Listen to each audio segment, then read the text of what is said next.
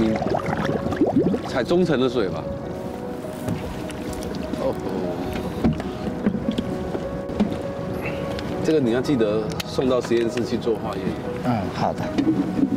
我是在云当湖保护中心已经工作了二十多年，主要任务嘛，就对云当湖的这个污水的一个截流及防汛的工作。盐度，我后半段嘛，基本上多少都有参与。温度十五点五。我算是土生土长的厦门人，从老一辈的治理者，他们给我们讲的这个云当湖，当时的污染是相当严重。注册完毕。把我给你讲哦，你那边看得到吗？看得清楚吗？如此没看清楚。有黑黑的一个点。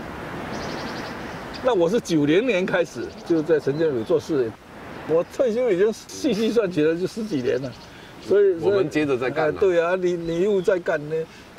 盐当湖本来是一个渔港，嗯，结果变成一个死水湖嘛，是啊，一天要几十万吨的污水就进入这个湖，是，一积累下来变成个臭水。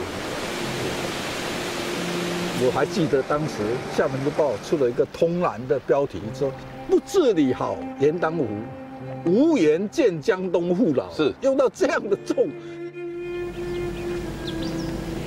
我觉得整个盐当湖的治理，规模最大的一次会议，也是盐当湖治理的转折，那就是一九八八年的三月三十号，这次会议就由习建平同志亲自主持的会议。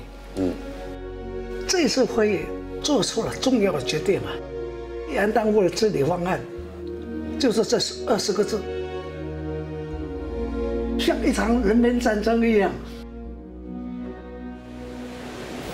今年以来，有关部门调进挖泥船清理内外湖历年淤积的污泥，市政府拨款七百多万元治理云当湖，做了大量。云当湖南岸污水处理厂污泥处理工程昨天正式开工。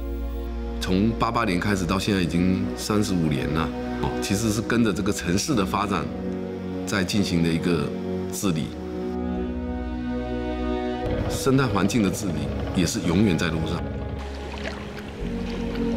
你知道宝宝是做什么的吗？工程师，是环境的工程师。做环境治理的工程师。我们这边的云当湖，爸爸就有来做环境的治理，知道吗？那你啥时候来？我很早很早以前就来，在没有你之前就来做了，知道吗？